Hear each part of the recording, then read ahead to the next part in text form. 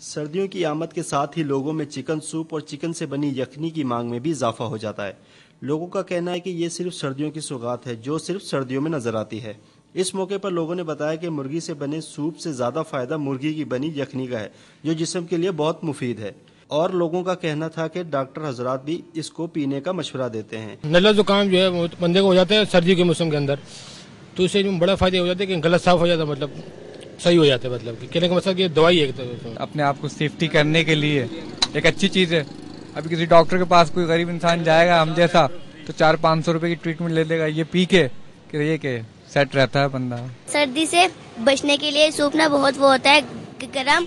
और सेहतमंद के लिए, इसलिए मैं इसको सूप पी रही। हूँ इस मौके पर दुकानदारों का कहना था कि सर्दियों में अवामुल नास में यखनी की मांग में बहुत इजाफा हो जाता है और इसको हर छोटे और बड़ी उम्र के हज़रत बासानी पी सकते हैं, जो सेहत के लिए बहुत मुफीद है।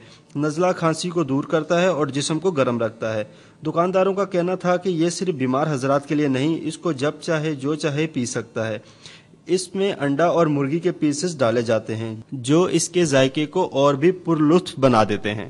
बस ये यखनी सूप है सर ये मुर्गी से बनता है मुर्गी की खालिश मुर्गी और ये, ये मुर्गी और मसाले होते हैं और बस।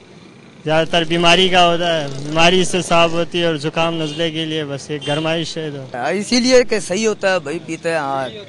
यखनी के मुर्गी से बनाया जाता है भाई मुर्गी गर्म मिसाल।